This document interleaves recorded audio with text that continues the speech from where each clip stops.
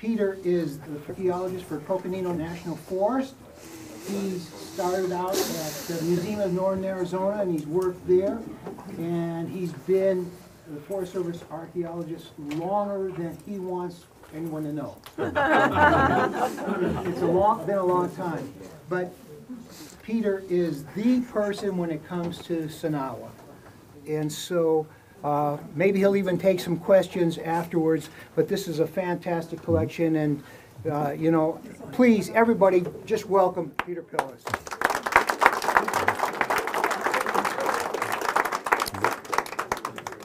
Well, thank you, Jim. Well, the first thing you should know, if when there's only about four people that are working in the Sinagua area, it's easy to be an expert. Okay. so, okay. But what I'd like to do this evening is basically sort of take you and give you your own personal guided tour of each of these artifacts and talk about you know, what's special about them, what's unique. Some of them have a story behind them. Some of them are really, really important. Some of them uh, tell us a few things that we really didn't know about. Other, other, others of them tend to reinforce things that we did know about. Um, but basically, the, as you probably mostly know, is that Honanki is one of the biggest cliff dwellings in the Verde Valley. Uh, it was known to locals for quite a long time, but it wasn't until 1895 that a famous turn of the century archaeologist, ethnologist named Jesse Walter Fewkes visited the area and was taken to the site. And Fewkes was the first one to make a map of it uh, and to put it in the literature to bring it to the attention of the outside world. Uh, Fewkes is the one who gave it its Hopi name of Honanki, uh, which means he, he thought bear house in Hopi, because as they were looking at the site, you know, they saw a bear run across in the background. now, now, even though it has a Hopi name, the Hopi themselves do not have any specific traditions or legends about this specific site. They have many stories and traditions about the Verde Valley area and the clan migrations that came through the area but there is nothing specific to the site. Uh, it doesn't have a specific Hopi name that Hopi recognize. So it's just a, a nice name to call it, Honanki. Um, Fewkes came back about 1911 and did some limited testing in the, the trash area in front of the site. Uh, one of the fun things about it is that one of the workmen he hired was Sherman Loy's grandfather, for those of you who, who knew Sherman Loy. Um, so it's rich in local history as well. Uh, but after that, basically no professional archaeological work was done at the site. Uh, and over the years, much of the site fell into disrepair, uh, ruin. Uh, and then in 1999, we had the opportunity to do some work at the site. Now, normally, one of the frustrations of being uh, with a federal agency is that you're not eligible for other federal grants. No, you cannot match federal money with federal money and most federal grants require a match from the private sector. But due to uh, Hillary Rodham Clinton, uh, who is very interested in archaeology, I, uh, for example, I found out that she subscribes to Archaeology magazine. Okay? And they do have a number of southwestern pots in their home. Um, but she was very interested in, in, archaeology, and of course, Clinton himself is interested in history as well. And so they put together, uh, as a way to celebrate the centennial, uh, not the centennial, the uh, turning of the millennium, the uh, Save America's Treasures Grant Program. Uh, it was administered by the National Park Service, and for the first time in history, as far as I know, it was open to everybody, including feds like us in the Forest Service. And so Richard Boston was the district archaeologist down here at that time, and he gave me a call on Saturday know, at the office and said, do you know about this Save America's Treasures grant? And I said, no, what is it? And he described it to me, and, he, and I said, boy, that sounds something like right up our alley. You know, because we've been talking about doing some stabilization work and improving uh, you know, public access to the site for quite a long time. So I said, well, let's apply for it, Rich, let's give it a try. When's the grant due? And he said, Thursday. and so as is typical in most grants, uh, Rich came up and on Sunday and Monday and Tuesday, we cobbled together a grant and a cost estimate on what we would do. Now, luckily for us, we already knew what we wanted to do because we've been talking about it for years. So it was very easy to put together. And so we submitted, submitted it and crossed our fingers and said, well, we'll see. And so, lo and behold, as they say, uh, we got one. Uh, they granted, I, I, believe the first round was like five or ten, ten grants, I think. Uh, and Honanki was one of the first ones. Uh, and it was the only the second one, one of two grants that the Forest Service had applied for. And it was the only one, uh, except for Mesa Verde, that pertained to an archaeological site. Most of the grants went into more traditional historic properties, historic buildings, uh, Euro-American kinds of history. Uh, and so with that, we said, well, gee, we got the money. What are we going to do now? Uh, and so what we always do, the way we've always done all of our public development programs, is we came and approached our friends in the avocational community. There is an archaeological society. And so over the years, and it took us probably three times as long to do as we had anticipated because it was a lot of work. But as you can see from the, the acknowledgments here, uh, a vast number of groups uh, from all over you know, the United States, all different agencies, all different walks of life, pretty much the entire public worked with this in making this a project that worked. We documented rock art, we did excavations for the stabilization, we found a lot of artifacts. We had specialists from the Arizona State Museum work with us in uh, preserving the, the, textile material.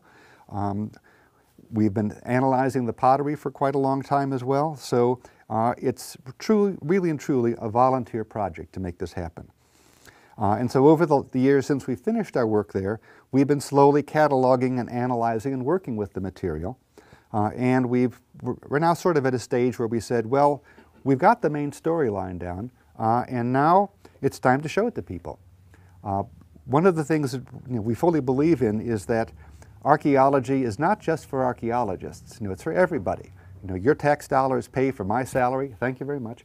You also pay indirectly for projects like Save America's Treasures, but it's really money that's been well spent. And we think that it's part of our duty, besides talking to our colleagues and our peers, is to present the information of what we've learned you know, to the public in ways that the public can understand easily. So you don't have to plow through turgid archaeological texts that are 10 years out of date by the time they come out. And so here you have it, literally out of the horse's mouth, uh, in terms of you know, what this stuff is all about. So what I'd like to you know, run through for you this evening are you know, these artifacts and tell you why they're so special. Okay. Now, one of the first things we want to point out is when you look at this case over here, what do you see? But in a more modern day American sense, what do you see sticking in the case? A bunch of rags. right? I mean, look at that stuff. Would you keep that framed in your house? No, it's a bunch of rags. Okay. so what we like to say is, you know, it's, it's more than just a rag, you know, and that's, and that's the beauty of these things. Um, one of the fun things about being an archaeologist is I can see things there that you can't because I'm an archaeologist. Uh, and my, one of my early bosses, who's a wonderful caricaturist, um, and I had to train him into what archaeology is all about. And he was always asking, well, what are you seeing? And I'm walking around talking about pottery names and talking about cultures. He says, what do you, what do you see? It's a bunch of stuff on the ground. and so he did a great cartoon once that was a caricature of me pointing to a single potsherd on the ground. And it, and it was, you know, the archaeologist as Forest Service sees him. then the next one was me pointing at it with this thought bubble that had this huge pueblo and hundreds of people and trade and traffic and stuff. And the archaeologist is seen by archaeology. Okay, and that's really true because it's just like anything. Once you really get into it, you, know, you immediately can pick up something and say, oh, that's a 1947 Ford crankcase. Okay, I can't do that. So that's the fun for me when I see stuff like this uh, because it, it gives me all sorts of ideas, all sorts of uh, directions that I can pursue. Sometimes it helps you know, uh, gel some of the ideas that people have been talking about. Many times it sends us off in whole, all new directions, and that's the beauty of collections like this. Now, before our project, information and knowledge about the, uh, the textile production of the Verde Valley was limited to something like the order of 75 to 100 uh, specimens, of which there were a couple from each, a number of sites, a few here, a few there. The biggest collection was from Montezuma Castle A, you know, the, the big one just down from the main castle itself, where they had about you know, 40, 40 textile samples. Uh, and those were analyzed in the 1940s, and that was it, you know, for decades and decades and decades. Uh, and so the techniques that they saw were very intriguing, very interesting. But again, with, with, most of it coming from Montezuma Castle, there's really no way of knowing how representative is it of the entire spectrum of Sinagua uh, textile technology, uh, and how does one site compare to the entire valley. And remember, the castle is basically one time period, the Tuzigoot phase, 13 to 1400. So that's one of the beauties of our collection, uh, is that we have now doubled the number of known Sinagua textile samples, and our sample of about 40 some odd you know, textile pieces is about the same size as the Montezuma Castle one. So now we have a Tuzigoot phase assemblage from Montezuma Castle, and we now have a complete Honanki assemblage from Honanki. So that gives us a lot of research potential to be able to take a look at these collections in greater detail and compare them to see if we can detect any kind of change, development, evolution between the two time periods in, in, their technologies and what they're doing. We, that, we haven't done that yet, but that's one of the potentials we have in the collection. Now, the first thing that was of interest to us is that once we saw the, the number of pieces and the variety of things, you know, I had to start delving into an area that I don't know much about, and that is prehistoric textiles. I know potsherds. Give, show me a potsherd, I'm cool. Show me textiles, my first thought is it's an old rag. But I know, I know better now. I know better. Uh, and from that, we were able to pick out uh, a great number of different technologies that the Sinagua uh, were using uh, and that is represented in our sample here. Now, people who specialize in textiles, and there's about maybe four in the world, okay, uh, or at least in the Southwest, and they, archaeologists often don't agree upon everything, but all four of them do agree upon the point that the finest textile technology in the prehistoric Southwest was in the Verde Valley with the southern Sinagua and the Tonto Basin with the Salado. Okay? And that's really interesting because uh, the, during the same time periods, although both Sinagua and Salado have far-flung trade networks across the Southwest, there's almost no connection, there's no interaction between the Verde Valley and the Tonto Basin, even though we're just a mountain range apart from each other. And yet at the same time, they share the, the technologies. Now that's really interesting. You know, what causes that? What are some of the cultural things that we can infer from that? You know, and that's something we're still thinking about and playing with. But the technologies that they had are really intriguing. They're very complex. For those of you who've done crochet work or needlework or you know, weaving, I think when you really look closely at these things, you'll begin to get an appreciation of the textile art and the craftsmanship that we see in southern Sinagua textiles. Now, the most common weave that we find throughout the Southwest is called plain weave, and that's real simple. You string a loom, you know, with warp threads up and down, and then you take weft threads and you thread them on through by using heddles to pull one set of warp threads forward. You put the, the heddle through that, or the, the, the, the, the thread through that, and then you pull the heddle and you change to the next one. And so it's just a back and forth, put the thread through, close it, put the thread through, back and forth, back and forth. So that's, that's the main body of what they wove. And most of the pieces of textiles that we found were made in that technique. Now, the largest piece that we found is this long one that you see laying here.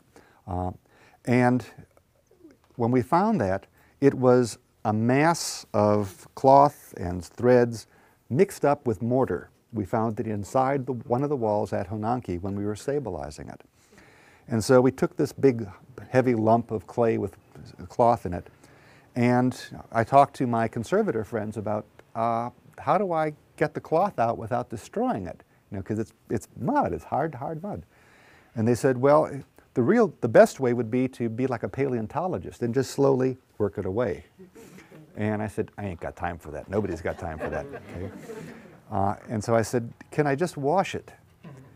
And they said, well, um, if it's in good condition, you probably can. You probably can. So they advised me to use you know, distilled, uh, deionized water, so it's totally neutral, not introducing any kind of chlorine or other kind of chemicals into it. And so I put it in a bucket of water and let it sit for a couple days, and then slowly just began, you know, moving it around, and it began turning into mud and washed it off a little bit, until finally, just slowly by you know changing the water, adding more, uh, agitating it some, I you know, got most of the mud off of it. And then it was just to, again, change the water, keep changing the water, and just gently you know, pushing it back and forth. And as I was doing that, I was really amazed because you know what it felt like? It felt like a wet chamois. You know that real soft, moist. Okay, that's just what it felt like. Um, so after I had, you know, you know, got it as clean as I could, uh, then you have the, the more difficult task of straightening it out and letting it dry. And now for that you have to be careful because you do not want to take out your iron and flatten it down and make it into a perfect, you know, piece of cloth. Because what the textile people have found is that if you let the cloth alone, it will tell you a lot, many cases, about how it was used. Because when you wear shirts, you know, trousers, underwear, enough, it will slowly begin to mold to your body. And so if you don't mess up the original contours of it, you can sometimes see where it was worn and how it was used. And so I tried not to mess it up too much, but it was really tough when you've got something that's been jammed up into a ball of mud all that time. Uh, but basically, I, I, sort of treated it like um, an insect collection for you people who collected butterflies.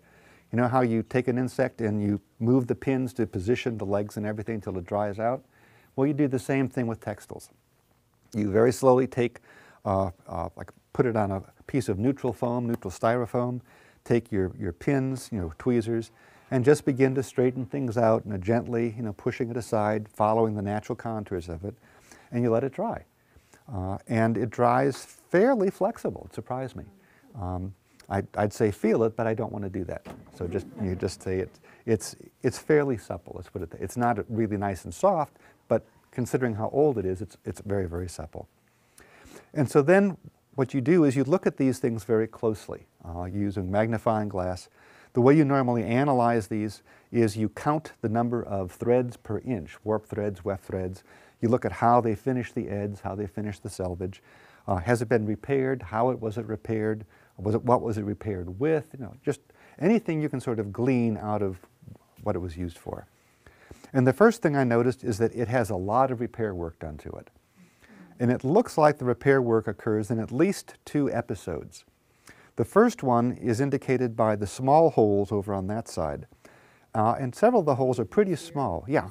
Uh, and that, it looks to me like they pretty much fixed, you know, sewed up and patched the hole pretty soon after, you know, it, it happened, so it didn't expand on it. And what they simply did was they reinforced the edges with a series, overlapping series of whip stitches. Okay? And you'll see there's quite a, quite a number of them, and they work. You know, they're, they're still holding the piece together. But then apparently, after a number of, of, of, years, I would assume, is that it got you know, in worse, worse condition. And then at this lower part of it, they just did some real quick and dirty, you know, quick weaving or th sewing through it just to hold the pieces together, a totally different technique. And then after you know, that stage is when it ended up inside the wall of the, the Pueblo. Okay? And so you have to wonder, like, you know, well, what, what was it used for, first off? Because that's only about half of it. That's our estimate. It's only half of the full size. The, the length that it is now is close to the original length. We have bits of selvage on you know, three sides of it.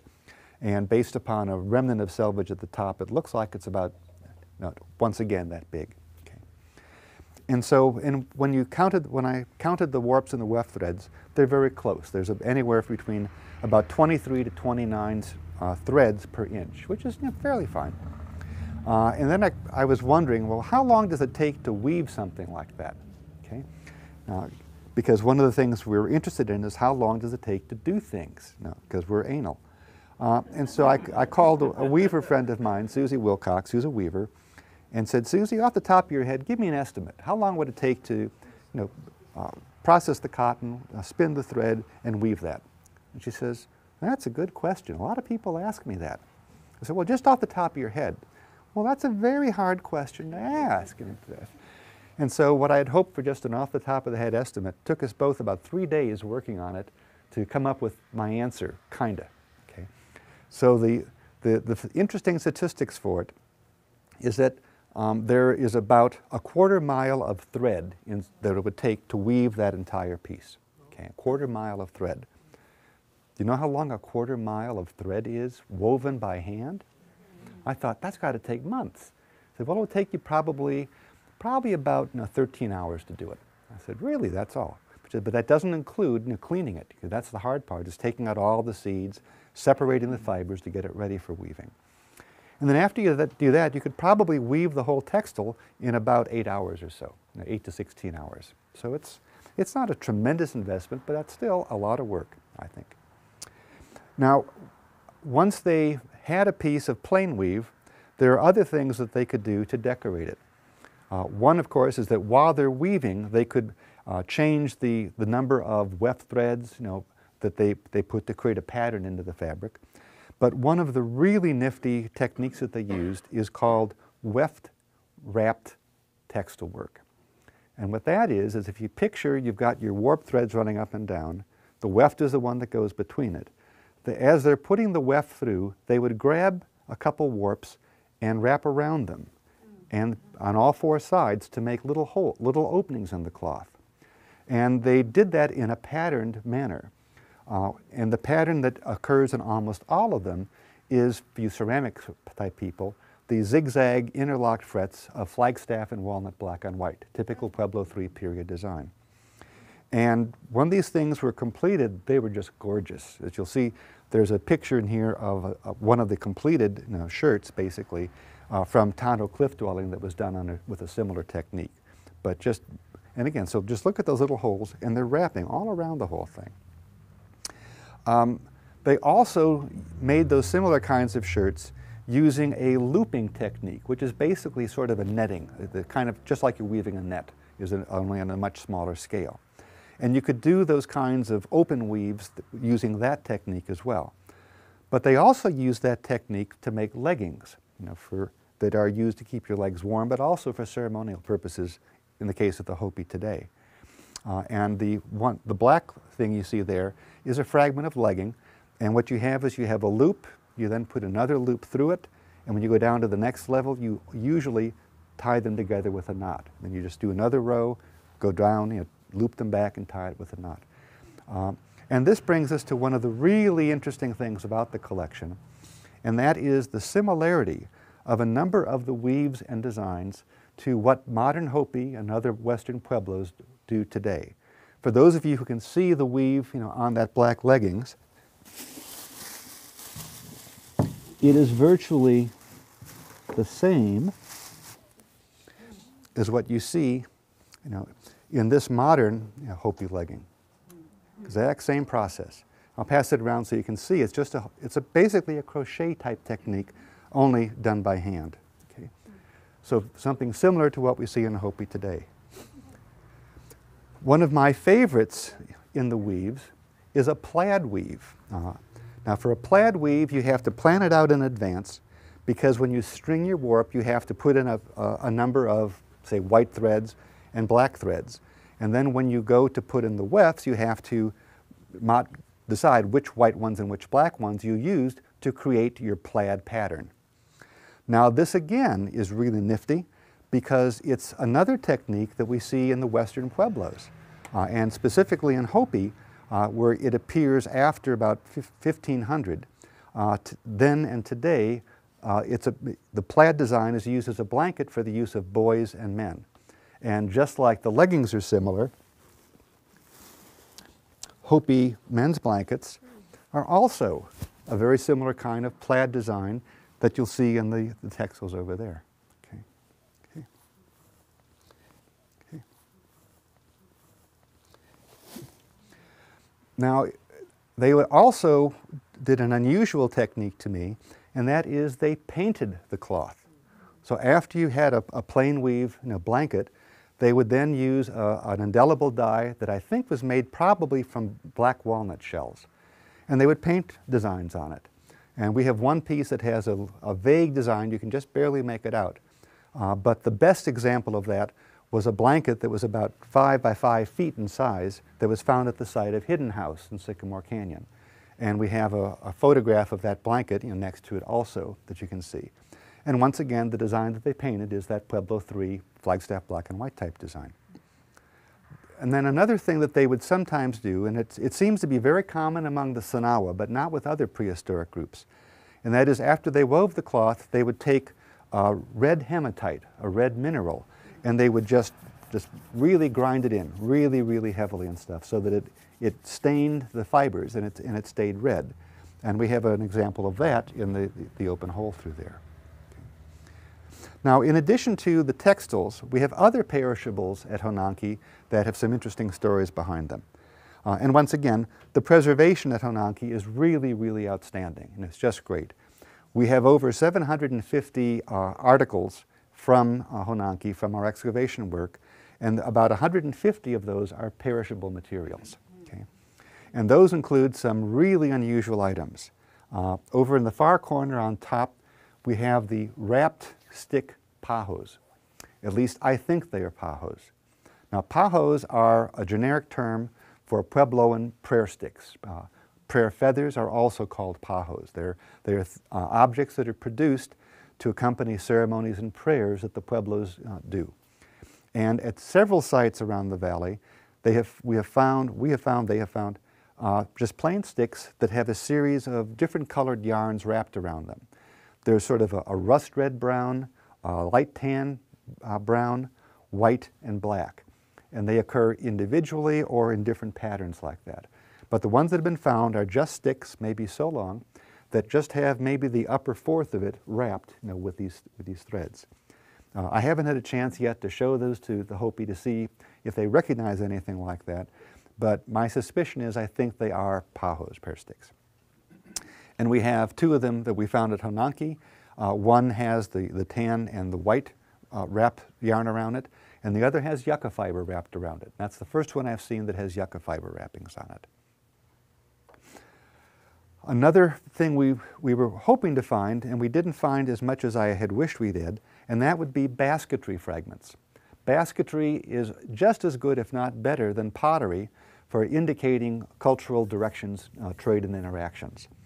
Uh, the only th potential basketry pieces we found are these plaited uh, fragments here. Plaiting is where you have, you take yucca leaves, you split them into flat segments, and then just like textile weaving, you go under one, over one, or over two, under one, and you can make different designs with it that way. Now, that, this plaiting technique was used both to produce mats that they could use for sleeping or use as door coverings or even as you know, coverings or you know, rolled coffins you know, for burying the dead. Uh, but when we have just small pieces like that, it's impossible to know which of those it is. So they could be a mat or it could be what's called a ring basket or a, a yucca sifter, sometimes called.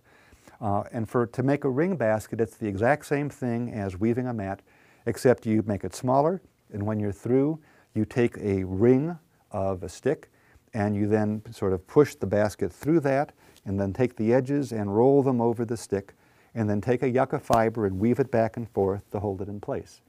Okay. Which is exactly what the Hopi still do today with the exact same techniques, the exact same designs, the kind of designs you can make depending on the, the number of uh, strands that you go over and under. Okay? But they're identical. Uh, at some sites, like the Canyon Creek ruin, they have found baskets that are identical.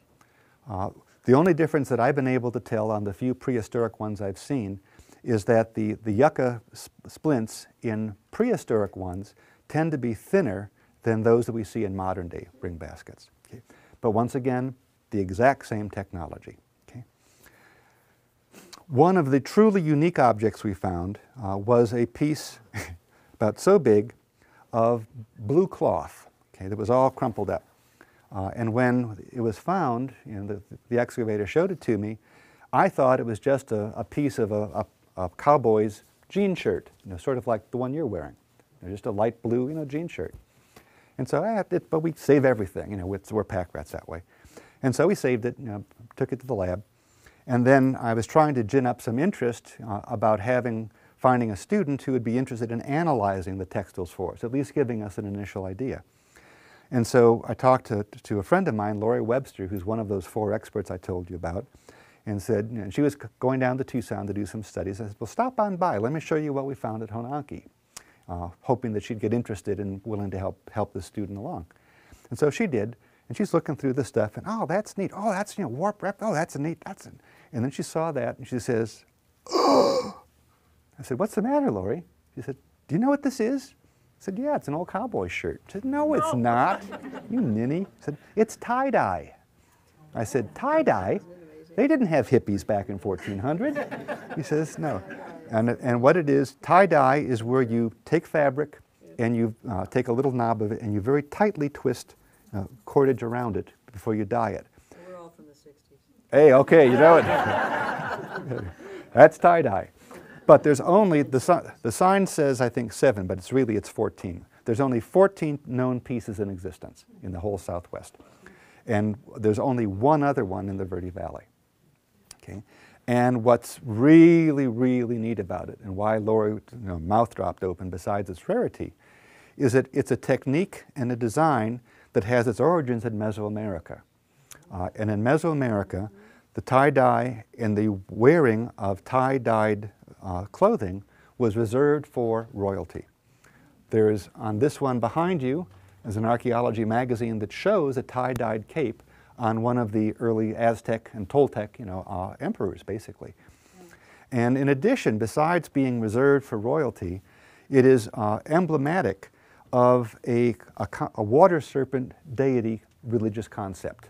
You're all familiar with Quetzalcoatl in Mesoamerica.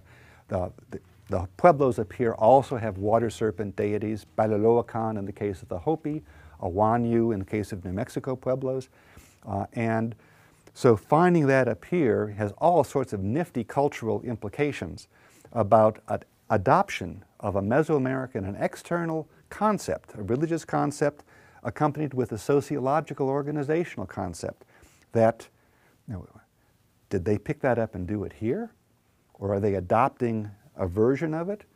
Or are certain people picking up on this, wanting to emulate and become part of the Mesoamerican world? Raise their status, have connection with the big guys, have, be able to do the market, you know, exchange stuff back and forth. What, who adopted and wore the tie dye material? Now, and since all we have are fragments that were in the, the trash fill, you know, it's impossible for us to say. But it does indicate to us that, again, the potential for excavations at Honanki to someday maybe be able to find a portion of the site or a room where this material can be localized. Uh, and then we can see what else is in that room to begin to look at the possible differences between this particular group of rooms, this family organization, and the rest of the village, the rest of the Verde Valley. So that one's very exciting. We also found some more mundane everyday stuff, such as uh, cotton threads uh, for, for tying yarn, weaving, all sorts of stuff. And then an awful lot of yucca leaf ties. A tie is simply where you take the leaf and use it and you tie a knot, tie things together.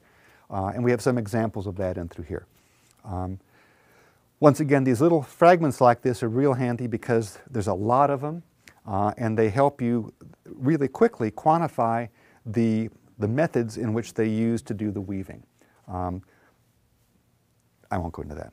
There's a couple different ways to do it, S-twist, Z-twist, you know, you can ply it back on top, two-ply, three-ply, four-ply. And again, those are sorts of things that we look at to analyze you know, text to work like that. We found two sandal fragments. Uh, there's one over here. This one is made with a plaiting technique, the same technique over one under one that we see in, in plain weave over there. Um, a lot of work has been done uh, looking at sandals through time and how they change, but primarily that's been up in the uh, ancient ancestral Pueblo area. They haven't really done that down here in the Verde because there aren't all that many samples. Okay? Uh, the ones that I've seen all tend to be plaited, very similar to that one. You'll see it's very thick, so that gives you a little bit of a cushioning, or perhaps it was may have been an inset into a rabbit fur blanket for wintertime wear. Okay. Okay. And then in terms of the perishable material, and probably for me, the most important thing is this little tiny piece of wood right here with the groove in it, which you'll have to take a closer look at. Uh, because it was found one day, and I'll never forget the day, that we had uh, a group of uh, kids you know, from Flagstaff uh, excavating at the site, uh, along with you know, about three other groups too. So it was sort of a three-ring circus of running from one excavation area to the next. Yeah, yeah, no, do that, do, don't do that, stop, don't do that, uh, back and forth. And so, you know, I was one group, and I saw this kid, you know, coming down along the edge of Honanki with something in his hand, and he was obviously, you know, coming to show me something. And I thought, great, a black and white shirt, and just another black and white shirt. Uh, so he began coming towards me, and when he was about 10 feet away, you know, I saw what he was holding in his hand, and I said, nah, nah. And he got closer, and I said, uh, and then he stopped in front of me, and he says, do you know what this is? And I said, yeah, I sure do. What it is, is a piece of a very rare, very important object called a wand. Okay. Uh, it's a replica of a deer hoof, uh, and it's part, it's at the end of a, a, stick, a carved stick. Okay. And, oh yeah, they're cool, so what? Because these are extremely rare, and they are very, very important because they indicate a Hopi style of society organization in the Southwest. These have been found in a few places. There's a couple in the Verde, the, uh, some in the Flagstaff area, one or two in the White Mountains, and one in Prescott area. They're localized right now to central Arizona. The most important collection of these was excavated in the late 1930s outside of Flagstaff at a site called Ridge Ruin. You, good, you've heard of it. Yeah. Uh, where a, a, cluster of these was found buried with was one of the most important, well, the most important burial in the Southwest. And there were three sets of these, and each set consisted of a carved uh, deer hoof, a human hand, and a serrated object that has been thought to be replica of an agave stem. The agave is a symbol for one of the top dog Hopi societies, the Kwan Society. And the Hopi who were shown this back in the 1930s recognized the assemblage as belonging to a very important religious and social leader. Uh, he served multiple functions in his society. On one hand, he was a kaleitaka. A kaleitaka is a war chief, a, leader of the warrior society. These sticks were used in a ceremony that the Hopi had uh, but they that died out uh, back at the turn of the century. But it was still practiced in, into the 19 teens by the Zuni. And there are some drawings of uh, ethnological studies of the Zuni that shows them using this. And the way that these were used is that they were stick swallowers. And they would you know, swallow these, okay, so that just the, the top end was showing, okay, through. And this, in part, was a, associated with, with rain, with bringing moisture and rain, uh, and of, of controlling natural forces and stuff. Um, Is that an actual size? That's one of them. There were, there were three sizes. The biggest one was about like so. Uh, the other ones were about like that, and then there were some even smaller ones. So there were three different size groups. But they all had the deer hoof, the hand, and the Kirby thing. Okay. What's the deer hoof made of? That's the other neat thing. Um, this one I don't know. I haven't had that analyzed yet. But the ones that were found with the magician's burials, burial was found to be made of ironwood. Now, what is the rain? Where does ironwood grow? Down south. It doesn't grow up here. So either the wood, which is my guess, or the finished item was brought up from the south. Uh, and what's interesting, if you again looking at Hopi traditions, uh, I mentioned the guy was a war society leader. Well, among besides leading the group in times of war, the War Society chief, the Kaleitaka, also is responsible for ensuring that the leaders of other religious societies do their thing as part of the big ceremonial preparations. So they're sort of maintain law and order internally on a religious basis for it. What was the purpose of the groove? It's, it's a deer's hoof. It's a hoof. Mm-hmm. Oh, the, what, you mean that part you're looking at is the hoof part? Yes, this I is the bottom of the I hoof. Okay. And Hopi traditions say that the Kleitaka were people who came from the south, and they were all big, strong guys, you know, who could exert you know, their authority. And the magician, in fact, was a couple inches taller than most other Sinagua of the time, and showed you know, very robust you know, kind of feature for it. So what it indicates is that he was a member of multiple societies okay, that were very important towards the organization of you know, the, the prehistoric Sinagua. And what I find really intriguing is that it's only found in central Arizona, which would seem to me at the moment, based on granted slim evidence, that perhaps some of the very first concepts of society organization in the Hopi and in the Puebloan world originated here in central Arizona in the Verde and Flagstaff areas. An interesting you know, hypothesis to, for us to play with. So that's really, really cool. Okay. And then the other stuff we found you know, was the typical things of projectile points. We all love projectile points. Okay? And what was neat about it is that as part of the project, as I mentioned, we also documented the rock art. And from that, uh, we worked out a, a seriation, a sequence of rock art styles that reached obviously back into the Archaic period. And with a very highly repatinated scratch style, it was so much darker than all the other stuff that I theorized that it, it has to be before early Archaic. And the thing before early Archaic is Paleo-Indian. And supporting that was that during this period, a field school from NAU stopped to do a, a site tour at Honanki, and one of the students, having drunk lots of coffee and the bouncy ride coming down from Flagstaff, uh, had a call of nature, and while he was answering the call of nature, he looked down and found the base of a projectile point. and when he and when he brought it and showed it to the archaeologists, our mouths dropped open because this is the base of a Clovis point. Clovis points are the early, earliest recognized form, shape, type of projectile point in the New World. Dates back 11,000, 11,500 years ago. Uh, and until recently, of course, this was considered to be the earliest appearance of humans in the New World, the North American continent. As many of you probably know, uh, research and dating techniques have improved to the point where it looks very good that there is something pre-Clovis.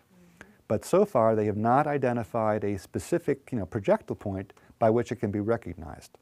So, as, as I mentioned, this is still the earliest identified style of projectile point in the New World. And then, if you look through the rest of the projectile points we found, we have a continuum of projectile point styles from Clovis all the way to modern Yavapai and Apache. And what was nifty about this for me is that we see the same thing in the rock art. So here we have, you know, two lines of evidence helping support each other in terms of how long have people been living at Honanki and in the Sedona area? And basically the answer is forever.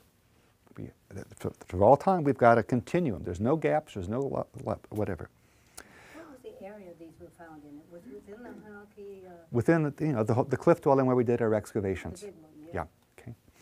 And, and what we also find are projectile points from outside areas such as the Cohonina, that's these distinctive long points here. Um, and one of our long-term questions is when do the Yavapai appear in the Verde Valley, or at least in the archaeological record? Um, that's one of the, the big interesting questions is when did Yavapai and when did the Apache people come into the area? Now again, in their traditions, they've always been here. Um, uh, archaeologically, you know, well, that's, you just can't say that. That's not good enough for us. Um, and so we've spent a long time trying to, what are the archaeological correlates? What can we recognize with archaeological data that identifies Yavapai and Apache people? Now, both groups were very highly mobile. They didn't leave a lot of uh, non-perishable material. They didn't leave much pottery. Uh, their houses were very ephemeral. They were great on basketry and textiles, but they were on the move most of the time. Uh, so they don't leave much behind. Well, the best in, you know, data that I was able to get early on was the rock art, because they both have, or at least the Yavapai, have very distinctive rock art. I think I can recognize some very distinctive Apache stuff, but not as clearly as we can with the Yavapai. But this style of projectile points that we see here, that we've got quite a few of, are very diagnostic for the, the, the Pai people, not just Yavapai. But Wallapai, Havasupai, the Paipai, you know, the, the whole Yuman speaking group of Pai people make these styles of points, and we have lots of those. Okay? So, and then we also have an interesting group of little teeny tiny points, mini points, that the, the stratigraphy isn't as clear as I'd like it to be, but it's, it strikes me from what I saw coming out of the ground is that these little teeny tiny ones look like they might be a transition between late Sinagua and early Yavapai. Now, it's just, it's just a wild guess. Uh, but that, along with other tantalizing tidbits, now suggests to me that there could be uh, some continuity between the late Sinagua and some of the Yavapai. Uh, that the work we've done, I think, can push the date in which we can conclusively agree, or say, I could agree, that the Yavapai were here by 1250. Now, usually they're not, most people say they weren't here till like 1400, after Sinagua had gone away. But I think we've got good solid evidence that there's at least 100 years when both groups were occupying the Verde Valley. So given that, I think there's a, an obvious indication that there would have been interbreeding between the two groups. And so in that sense, if there's any validity to that kind of you know, concept at all, that the Yavapai are correct in saying that they've been here forever through their mixture with southern Sinagua. Another highly controversial thing that most of my colleagues laugh at, but nonetheless, I think it's another uh, idea that we need to examine to look at that possibility. Can you, can you say anything about what, what prey, I mean, what, what those, those points are all very small. Mhm. Is that, did you find anything that would have indicated large animal hunting or, or some of those? Well, you'd better ask that question to a bow hunter because I'm, I don't know that sort of stuff. But my, my understanding is it's not really so much the size of the projectile point because all it has to do is actually penetrate and get in. And then as the animal moves around and runs, it's the internal damage caused by the shaft moving back and forth as well as the point that really, you know, does the, that does the deed. Uh, so I don't think, um, unless you're hunting elephants, that would make a big difference. Okay.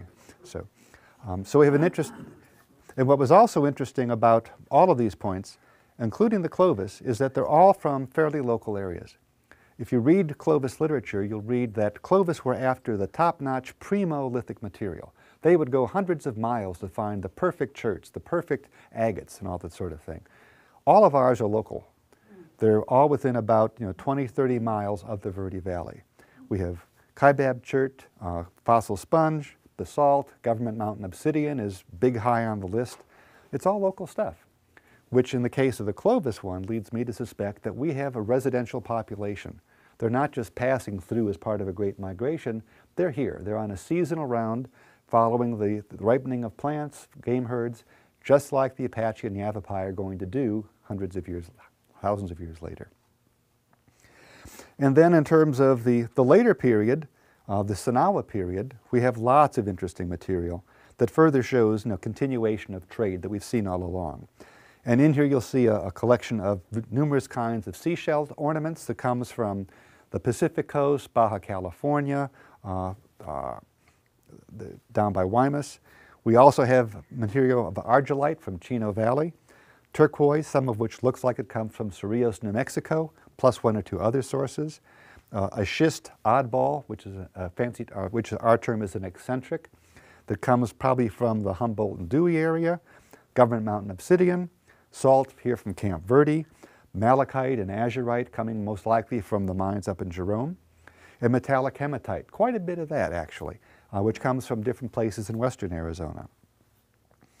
Pottery, of course, is one of the big things that we look at to look at interactions with people. And the sites in the Sedona area, like Honanki and Palatki, have a relatively high number of sherds from the Prescott area. And I think that there was probably a trade route that comes out of Prescott, goes up through Sycamore, and eventually up into the Wupatki Basin. Because sites along Dead Man's Wash in Wupatki also have a high frequency of Prescott uh, black on gray pottery compared to you know, areas outside of that corridor. And not only did we find a lot of Prescott grayware, we also found a cute little figurine that is exactly like the ones you see in the Prescott area. It's a Prescott style human figurine, but it's made of local material. Okay. Then we found two sherd pendants. One is made of a Hohokam pottery type from the Salt River Valley. The other is from a whiteware sherd up in the Kayenta country. Uh, and then some everyday tools like bone awls and whistles. Now, for those of you who look, were looking at the case earlier, I heard all of you saying, how is it used? That's not a whistle. Yes, it is. Uh, these are called bitsitsi whistles. It's a Zuni word. And what they, bits itzy. And what you have here are curved pieces of bone. Uh, and if they're not curved enough, you'll have a groove uh, car, ground into it. And the way that they're used is just like if you take a grass stem and put it between your thumbs and blow, exact same thing. They'll put a stem or reed in there, they're usually bound together, and you know, since they've had practice, they put it in their mouths and they can you know, make whistling sounds and things you know, while holding it. And in some of the dances that the uh, Zuni do, for example, uh, maybe Hopi too, I think, they'll have it in their mouth and they help make some of the sounds of the kachinas during the dances. So those are bitsitsi whistles. Okay. And that basically is a quick tour through this wonderful group of artifacts, which I now invite you to take a look at. And if you have questions now, I'll be happy to answer them. There's a question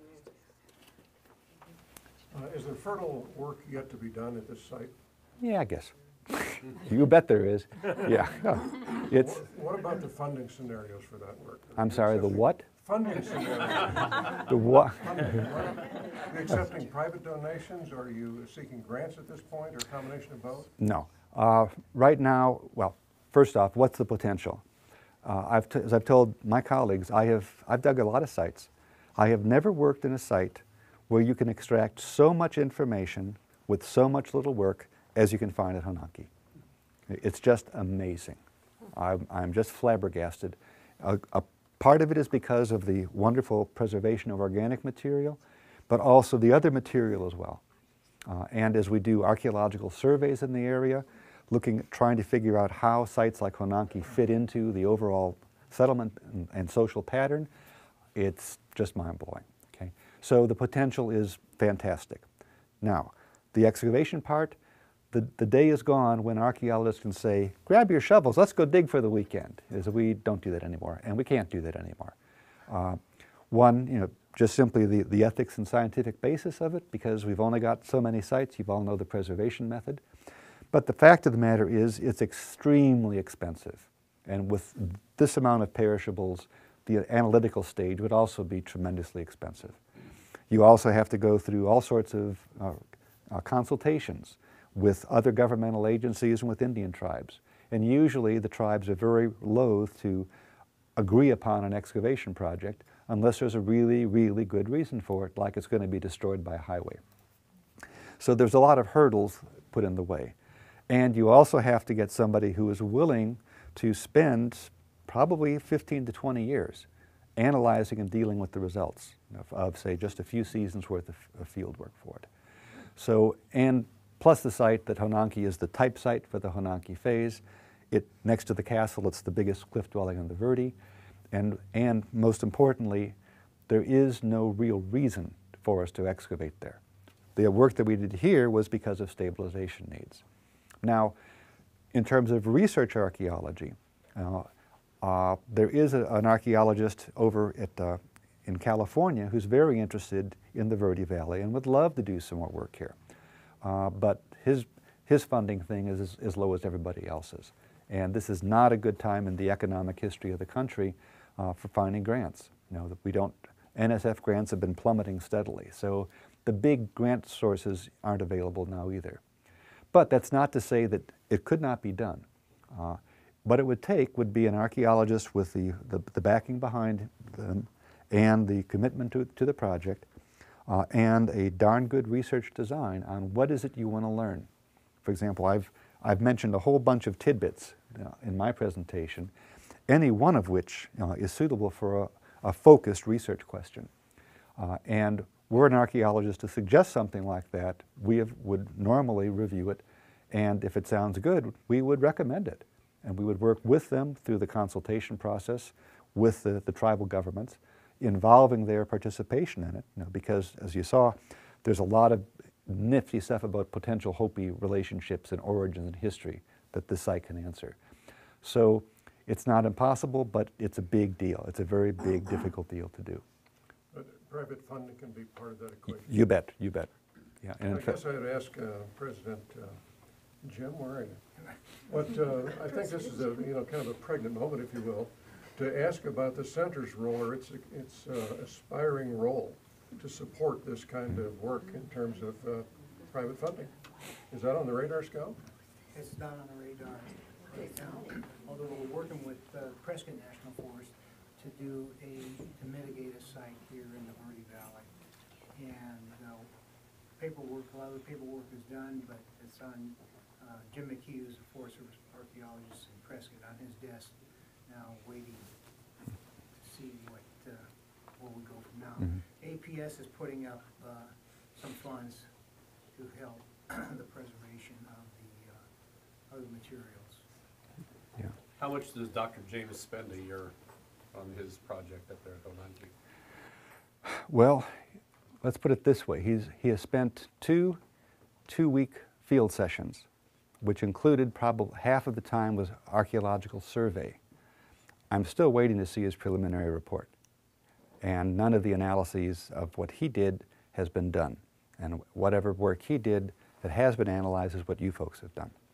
Because like all, it's, it's very hard for us types to break free of being able to take off two weeks, do an excavation project, and if we do two weeks of field work, we probably have three to four months of lab work and analytical work to do. And none of us can, you know, has the luxury of that much time. So if you, and when you don't do it, it just sits there and it builds up and it gets to be something we're very embarrassed about and we feel very guilty about and we lose a lot of sleep about. But until we can either convince a university course, a university professor, people who have that kind of time as part of their job, uh, the best we can do is, like Jim said, is just small, small things, small scale things that we can do and complete. Uh, for example, this project, I still haven't finished the analysis, and I have written the preliminary report as, in terms of the grant, but the report I still haven't written. But even given a modicum of funding, you should be able to support graduate students to do this kind of work. Well, you'd be surprised. They're not qualified. Well, they're not qualified without guidance, Well, sure. you know, and there's really no, there's no ac- active academic interested when working in the Verde Valley or has a background of working in the Verde Valley that could supervise something like that. That's one of the, that's why I said with my joke earlier, when there's only four people involved, it's easy to be an expert. Because it's unlike Hohokam country or the Pueblo, Mesa Verde or Chaco, where you can't throw a, a, a potsherd around without hitting an archaeologist with it. You know, we're very rare in this area. The, the Verde, central Arizona, just has not had the excavation work interest of the profession. Maybe it will. Well, it will someday. It will someday. It's just a matter of time. Okay? But it's things like this that can help stimulate that kind of interest. Can you speak to what, I mean, I'm surprised that this is not covered, what, the, uh, the, the, the, the, you know, the perishable, the perishable cloth, for instance, I would have thought would have been like under glass and. Well, we wanted you folks to see it. we, it will be covered by and- glass. And needing to have certain kinds of air in there and not other kinds of dampness and that kind of thing. Yeah. No, it, we also left it open for photography. Uh, but no, it'll be, it'll be sealed over. Other questions? Peter, by identifying the cotton weave design, can you tell what the textile was used for? Sometimes, if you have enough of it. For example, the, the weft wrap stuff is undoubtedly all ceremonial. Because, you know, to, if you just picture making those little holes like that, it's more than it takes to do the plain weave. It's all handwork, okay? And if you look at, you know, one of the, the best preserved examples, it's not the sort of thing you're going to go out and, and hoe the corn with, okay? So, so that would clearly be a very special, you know, kind of, kind of clothing. Whereas the, the plain weave like that, with all of the evidence of wear on it, as I said, is probably, you know, some just everyday, you know, kind of a garment. What was that, what, what's your guess is what it was used for? Given the size of it, my guess would be probably like a, a cape, a manta, perhaps. They could wrap a kid in. Yeah, that, or you, you, you probably, yeah, seen pictures where you, you know, uh, people have, you know, uh, shawls like that holding the baby on the back. So I, I would guess something like that, but, but I really don't know. It's a guess. Do you have an idea where the blue dye comes from on that uh, tie-dye piece? Well, that particular light blue color uh, is typical for the, the samples that have been found in the Salado area and, and over here. Um, and I, I Laurie has some ideas on what it is, and I just forget what, what she was saying about that. But she had some ideas on what would cause the to be a blue. mineral, because I think any Some sort. vegetable Right. And even, you know, the, just the, the fairly bright and the pre- preservation of it indicates that there's a big mineral content in it. But I don't know what that would be. Okay. Well, if there's no more questions, uh, have some eats. Thank you.